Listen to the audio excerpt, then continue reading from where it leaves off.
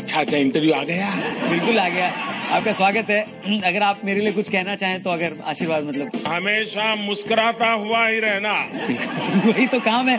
अपने नाम पे ही गया हूँ मैं। रौनक। वैसे आपको हमारा शो देखने को कौन रेकमेंड करता है मतलब अगर आप देखते तो? मेरी छोटी बहन श्रीमान अंशुल वर्मा जी। छोटी बहन और श्रीमान। मैंने शायद गलत सुन लिया एक बार फिर से अगर आप। मेरी छोटी बहन श्रीमान अंशुल वर्मा जी। सीरियसली मोदी जी श्रीमान और बहन मतलब अब आप चलिए जाने दीजिए। मैं कह रहा था कि वहाँ जितने लोग खड़े हैं क्या वो लोग भी शो देखते हैं क्या? कितने लोग हैं वैसे? आज ये विशाल मैदान भी छोटा पड़ गया।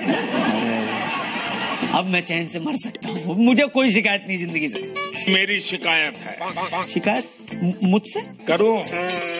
करिए मेरे करिए फिर करिए। लेकिन आप बुरा मान जाएँगे तो? बुरा नहीं मानेंगे।